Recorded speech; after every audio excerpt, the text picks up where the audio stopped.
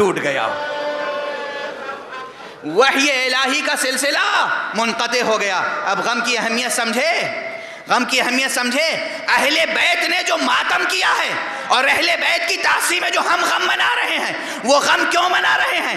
ان کا قتل ہو جانا تو ان کے لیے عید عید لقاء کی حیثیت رکھتا تھا۔ خود جناب سید سجاد سے پوچھنے والوں نے پوچھا کہ آقا کب تک غم منائیں گے؟ ہم سے دنیا کہتی ہے؟ ہم سے دنیا کہتی ہے، کب تک غم کرو گے؟ کب تک ماتم کرو گے؟ ارے جب تک زمین و زمان کا سلسلہ قائم ہے، یہ غم قائم رہے گا۔ اور اگر انسانوں نے ماتم کرنا چھوڑ دیا، تو درخت کی شاخیں ماتم کرے گی۔ ہم نے رونا چھوڑ دیا تو آسمان خون کے آنسوؤں سے روئے گا، زمین خون کے آنسوؤں سے روئے گی۔ یہ ازاداری بہتمام الہی جاری رہے گی۔ یہ سلسلہ رک نہیں سکتا۔ کیوں رک نہیں سکتا؟ سنو، کیوں نہیں رک سکتا؟ قتل ہو جانا کوئی بڑے غم کی بات نہیں ہے۔ کوئی بڑے غم کی بات نہیں ہے۔ قتل ہو جانا۔ اللہ کی راہ میں قتل ہو جانا ان کی خوشی ہے۔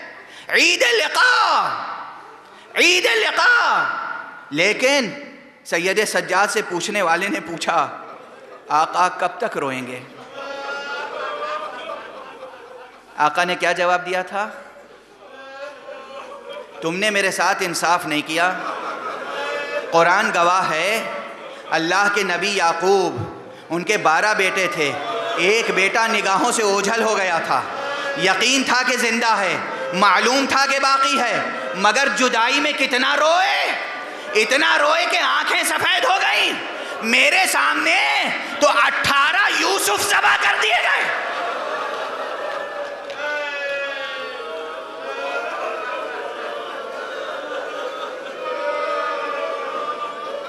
تسلی دلانے والا، یہ دلاسا دلانے والا بھی پھر بولا پھر بولا، پھر اس نے عرض کی، آقا آقا، اللہ کی راہ میں شہید ہو جانا، تو آپ کے خاندان کی سیرت ہے، فوراً امام تڑپ گئے تڑپ گئے، کیا فرمایا؟ ہاں ہاں اللہ کی راہ میں قتل ہو جانا ہماری عادت ہے، مگر ماں بہنوں کا بے ردا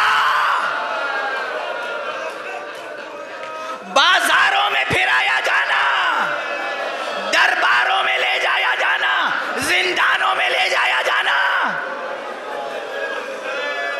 یہ ہمارے خاندان کی سیرت نہیں ہے۔ اب سمجھ میں آئی بات کہ گریے کا سلسلہ کیوں جاری ہے؟ بہت سے اسباب ہیں۔ بڑے اسرار ہیں اس گریے میں۔ سعادت مند ہیں آپ کے جو آزاداری کرتے ہیں۔ خدا آپ کی زندگیوں میں برکت عطا فرمائے۔ خدا آپ کی آنکھوں کو روشن رکھے۔ جو آنکھیں آج حسین پر گریا کریں گی، وہ آخرت میں گریا نہیں کریں گی۔ وہ آنکھیں آخرت میں الطاف الہیہ کا نظارہ کریں گی۔ یہ چہرے جو آج آنچھوں سے تر ہو رہے ہیں، قیامت میں شاداب ہوں گے۔ شاداب ہوں گے یہ چہرے۔ رو لو رو لو تمہارا رونا۔ ان کے زخموں کے لیے مرہم ہے، جنہیں رونے کا حق تھا اور رونے نہیں دیا گیا۔ خدا کی قسم بتاؤ، سکینہ کو باپ پر رونے کا حق تھا یا نہیں تھا؟ زینب کو بھائی پر رونے کا حق تھا یا نہیں تھا؟ کیا کیا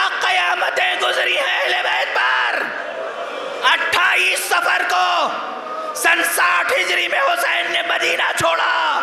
مدینہ چھوڑنا حسین کے لیے قیامت تھی، قیامت۔ حسین مکے پہنچے۔ مکے میں حسین نے دار امن الہی، البلد الامین البلد الامین، جہاں حرم الہی ہے، حرم امن الہی ہے۔ حسین کو وہاں بھی امن نصیب نہ ہوا۔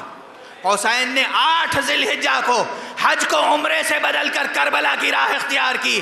جس دن حسین چل رہے تھے، وہ دن حسین کے لیے قیامت سے کم نہ تھا۔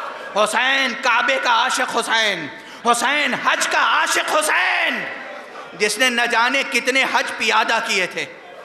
وہ حسین کعبے کے قریب آ کر کعبے کو الوداع کہہ رہا۔ مکے سے نکلے حسین۔ آٹھ ذی الحجہ سن ساٹھ ہجری۔ دو محرم۔ سن اکسٹھ ہجری میں حسین کربلا پہنچ گئے۔ کربلا کربلا بھی حقیقت ہے، عقیدہ نہیں۔ کربلا حقیقت ہے، افسانہ نہیں۔ کربلا کبھی بھلائی نہیں جا سکتی۔ سنو کیوں بھلائی نہیں جا سکتی؟ ارے حسین کا خون ابھی تازہ ہے، خشک نہیں ہوا حسین کا لہو تازہ ہے۔ خشک نہیں ہوا ہے۔ اور جب تک حسین کا لہو خشک نہ ہو، ہمارے آنسو کیسے خشک ہو سکتے ہیں؟ دو محرم کو حسین کربلا پہنچے۔ دریا کے کنارے۔ دریا کے کنارے خیمے لگانے کی کوشش کی۔ دریا کے کنارے خیمے نہیں لگانے دیے گئے۔ اسی لیے میں نے جملہ کہا تھا کہ عام طور پر سمجھا جاتا ہے کہ بندش آپ کا سلسلہ سات محرم سے شروع ہوا۔ ارے سلسلہ تو ایک طرح سے دو ہی محرم سے شروع ہو گیا۔ حسین کے لیے اذیتوں کا سلسلہ شروع ہو گیا۔ پانی پر گویا پہرا بٹھا دیا گیا۔ ساتویں محرم سے تو بچوں کی الاتش الاتش کی آوازیں بلند ہو گئی تھی شب عاشور، بچے اس طرح الاتش کہہ رہے تھے کہ خیام حسینی سے بچوں کی آواز فوج یزیدی تک پہنچ رہی تھی۔ تبھی تو حر نے سنا حر نے سنا، ان بچوں کی آواز جن کے حصے کا پانی ہر پی چکا تھا۔